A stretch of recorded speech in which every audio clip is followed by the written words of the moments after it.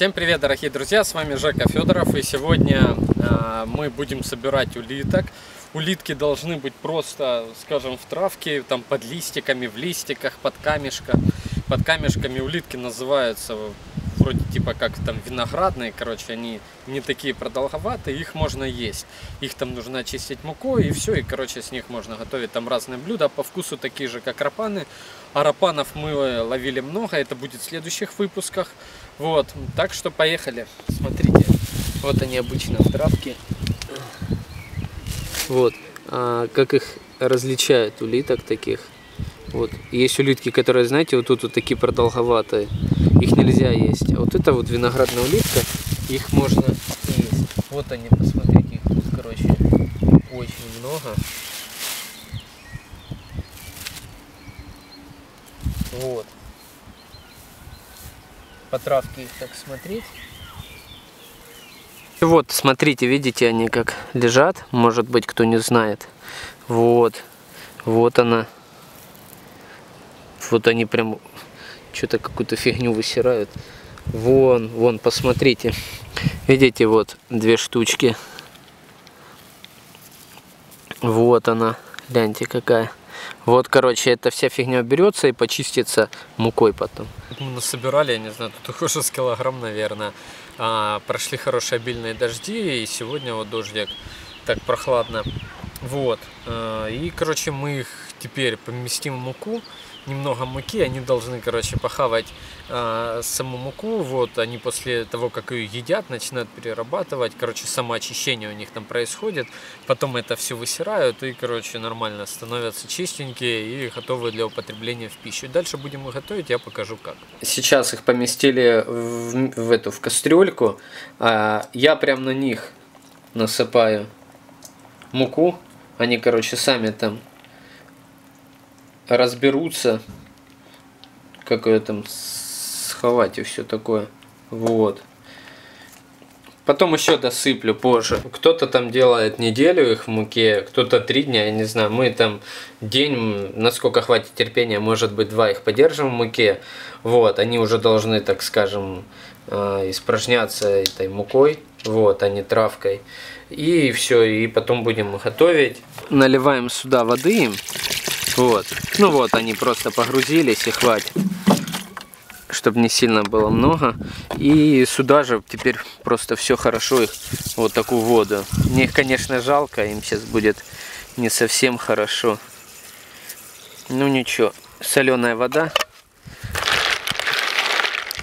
Все, они теперь будут выпускать сейчас слизь, и после этого их можно будет уже потом варить. Пусть так полежат в районе там часа полтора-два. Мы их э, в соленой воде вымочили. Тут вода стала как слизь. Ну а сейчас просто промоем и все, и дальше будем уже в горячую воду в кипятоках. Вот они наши улитки. Не пугайтесь, если они там в слизи. Но мы их промыли хорошо, они все равно ее выпускают. Просто закидываем их туда. Киваем с них воду. Э, и сейчас будем доставать их. Достаем вот эту вот ножку. Они как рапаны достаются. Очень просто и очень легко.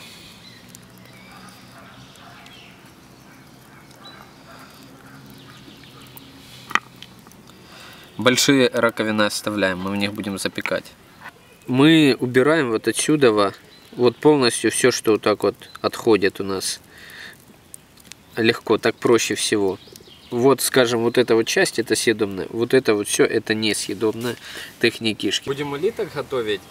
А, Часть улиток мы запечем, а часть просто пожарим соевым соусом, э, э, там терияки добавим, устричного соуса, короче сделаем такую вот смесь. Запекать мы улиток будем в фольге и начинять двумя, скажем так, способами. Это вот похоже на название, там есть песто, еще какое-то, я не помню.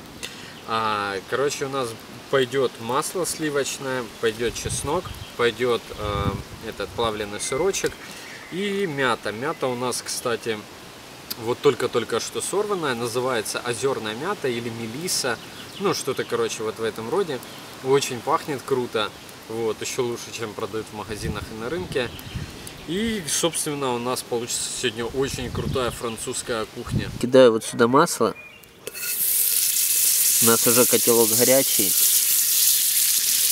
И сейчас сразу быстро, пока оно не, не горит, сейчас еще чуть-чуть докину, чтобы оно не сгорело, будем наших улиток, хотел сказать, рапанов закидывать. Вот у нас получилось вот столько всего лишь улиток. Наливаем, у нас уже есть готовые терияки. Чуть-чуть. Дальше, у кого нету, то может просто обойтись обычным соевым соусом. У нас вот есть, мы его используем. Это устричный соус. Немного добавляем. И у нас есть, это в китайских магазинах продается. Это, короче, типа крабово-креветочный привкус соус. Он э, на основе обычного соевого. Солить не будем, так как тут везде уже много соли. И сейчас добавим еще сюда чеснока. Выдавливаем сюда чеснок.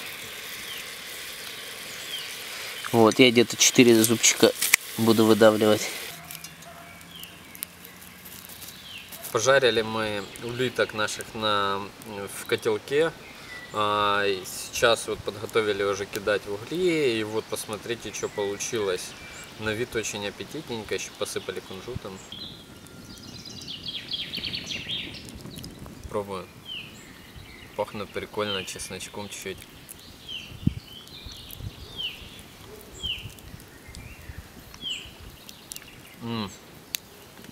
Короче, вот что-то наподобие между рапаном и рапаном. Ну, наверное, вот одинаково, как рапаны. Но точно такая же улитка. Чуть-чуть будет помягче. Короче, если вот это сейчас добавить э, в спагетти, вок и вот пережарить можно овощей, вообще, мне кажется, будет просто крутое блюдо, реально классное.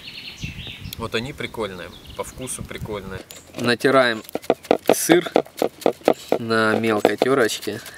Нарезаем очень мелко-мелко мяту. Перемешиваем с мятой такую, чтобы получилось более-менее однородно. Ложим сюда одну шейку. У нас, конечно, улитки сами не сильно большие. Ну, короче, какие нашли. Вот. И сюда же вот так вот подзапихиваем. Я прям с небольшой горкой так. Она расплавится, еще туда пойдет. Ложим. И все просто вот так вот заматываем фольгу. Закладываем сюда улитку. И вот так вот замазываем.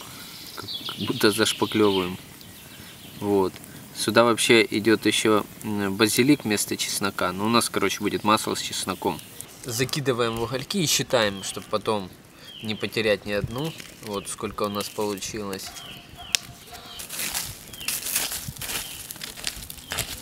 Так, вот они такие получились. Это сыром. Я прошу прощения, руки грязные, потому что доставал их. А вот она выкатилась. Вот это вот то, что мы делали с маслом и с чесноком. Вот, можно сейчас достану, попробую сразу. Короче, не знаю, масло и чеснок. Наверное, базилик бы что-то сделал, но, короче, с маслом и чесноком вообще обычно, просто обычно. Пробую теперь сыром вместе с сыром. Ну, вот она вылезла.